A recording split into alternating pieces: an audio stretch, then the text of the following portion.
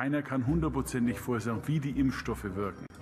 Wenn niemand voraussagen kann, wie dieser Impfstoff wirkt, was für eine Qualität von Impfstoff soll das sein? Da gibt es keine genaue Treffsicherheit. Und deswegen kommen wir gerade in den ersten Monaten des neuen Jahres da wieder in eine, eine spannende Herausforderung. Deswegen müssen wir uns da vorausschauend beschäftigen.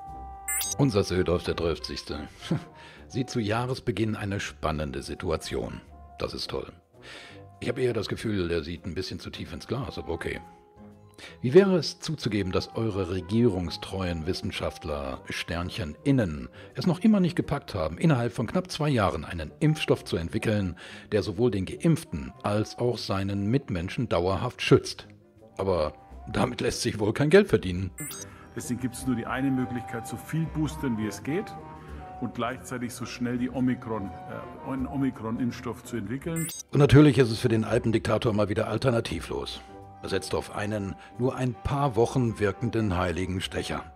Stechen, bis der Arzt kommt. Oh nee, der ist ja schon da.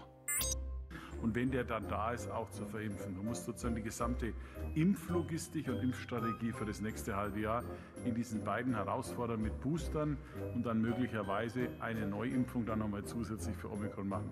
Also für mich klingt das so, als ob auch nach diesen sechs Monaten das Murmeltier täglich grüßen wird. Auf alle Fälle höre ich die Kassen klingeln der Pharma, der Krankenhäuser, der Apothekersternchen innen, der Medien, der Presseagenturen und die Kasse von dem hier. Aber ach, lassen wir das.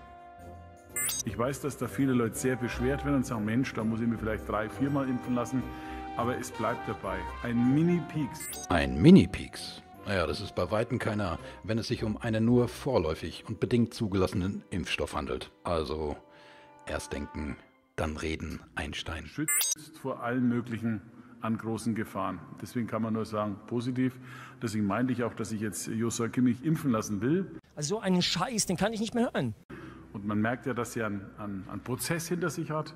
Und ich finde gut, dass man diesen Prozess auch abbildet. Vielleicht kann das der Impfkampagne mehr helfen.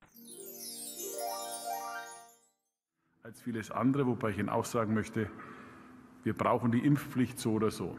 An der geht nichts vorbei. Und was immer man von dem Gesetz halten mag, man muss ihm gehorchen. Das ist in der Demokratie wichtig.